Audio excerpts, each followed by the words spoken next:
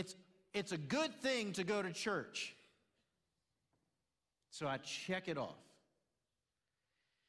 And he's going, let's not play church. Let's focus on what it means to truly worship the one true God. Let's focus on what that means for you, and let's focus on the reward therein.